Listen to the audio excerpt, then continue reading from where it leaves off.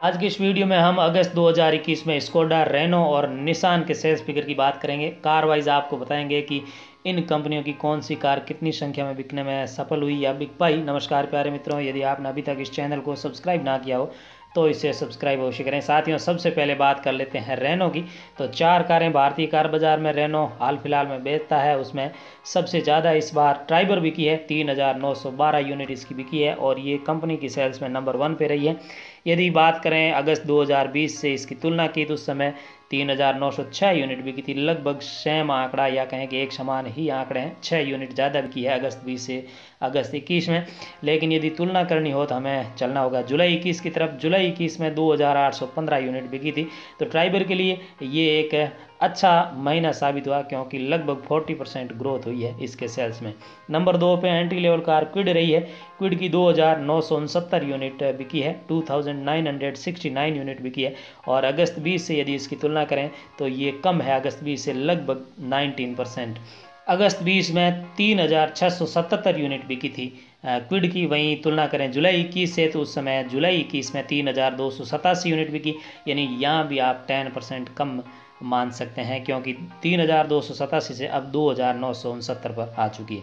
तीसरे स्थान पर पिछले कुछ महीनों पहले ही लॉन्च हुई सब फॉर्मेट कॉम्पैक्ट एस काइगर रही है। काइगर की अगस्त 2021 में दो हज़ार छः सौ उनसत्तर two thousand six hundred sixty nine unit बिकी है और अगस्त बीस से इसकी तुलना कर नहीं सकते क्योंकि उस समय ये लॉन्च नहीं हुई थी और जुलाई इक्कीस में इसकी तीन हज़ार पाँच सौ सत्तावन यूनिट बिकी लगभग ट्वेंटी फाइव परसेंट यहाँ भी बिक्री में गिरावट आई है जुलाई से अगस्त में।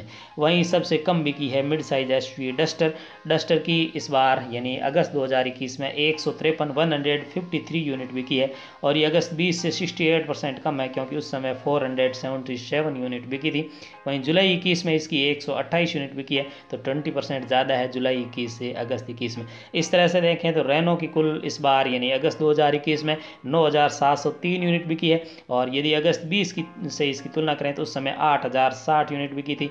और यदि जुलाई इक्कीस की बात करें, नौ हज़ार सात सौ सत्तासी unit nine thousand nine hundred eighty seven unit बिकी थी। तो लगभग नौ से दस हज़ार के बीच में इसका सेल्स फिगर हाल फ़िलहाल में चल रहा है। लेकिन आने वाले आगे के जो महीने हैं, उसमें सेमी कंडक्टर चिप की शॉर्टेज के चलते इस आंकड़ों में कुछ गिरावट भी हमें देखने को मिल सकते हैं। इसी तरह से स्कोडा की बात करें तो अपनी मिड साइज़ एस कुसा की लॉन्चिंग के बाद से इसकी बिक्री काफ़ी ज़्यादा बढ़ी है और एक बार फिर से स्कोडा इंडिया में उठ खड़ी हुई हम ये मान सकते हैं।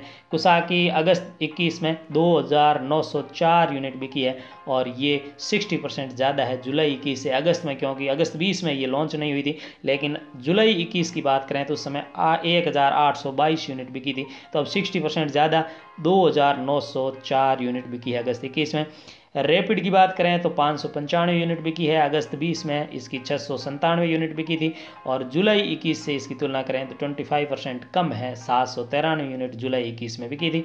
सुप्रभ की बात करें स्कोडा सुप्रभ की इस बार एक सौ अस्सी यूनिट बिकी है, अगस्त दो हज़ार इक्कीस में और अगस्त बीस में केवल एक सौ बाईस यूनिट बिकी थी, जबकि जुलाई इक्कीस की बात करें तो दो सौ छियालीस यूनिट बिकी थी।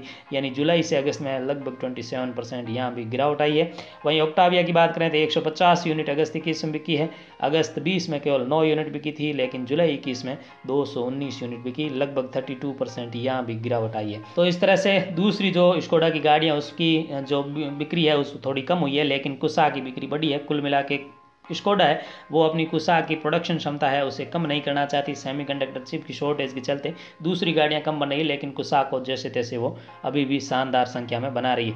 तो अगस्त इक्कीस में तीन हज़ार आठ सौ उनतीस यूनिट स्कोडा की बिकी है, और अगस्त बीस में केवल एक हज़ार तीन यूनिट थी, जबकि जुलाई इक्कीस में तीन हज़ार अस्सी यूनिट थी। तो जुलाई से अगस्त में ट्वेंटी परसेंट यहाँ भी ग्रोथ हुई है। लेकिन जैसा कि हम पहले बात कर चुके हैं, अभी सेमीकंडक्टर चिप की शॉर्टेज के चलते हो सकता है सेप्टेम्बर के आंकड़े इससे कुछ कम रहे। साथ ही निशान की बात कर लेते हैं तो निशान भी अपनी एक कार सब फॉर्मेट कॉम्पैक्ट एस मैग्नाइट के बल पर काफ़ी अच्छी सेल्स दे रही है।